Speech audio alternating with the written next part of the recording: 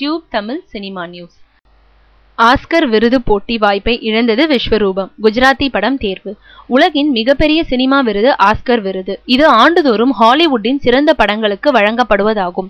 என்றாலும் பெருநாட்டு படங்கள் என்ற கேட்டகரியில் ஹாலிவுட் அல்லாத ஒரு படத்துக்கு விருது வழங்கப்பட்டு வருகிறது.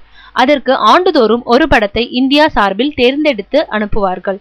இதுவரை ஒரு படம் கூட விருதை பெற்றதில்லை.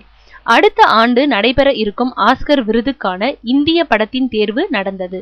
இதில் தேசிய விருது பெற்ற குஜராத்தி படமான the good road Bhaag Milkha Bhaag English Vinglish lunch box Prithviraj நடித்த மலையாள படமான செல்லுலாய்ட் கமலின் விஸ்வரூபம் உள்ளிட்ட இருபத்தி ரெண்டு படங்கள் போட்டியிட்டது.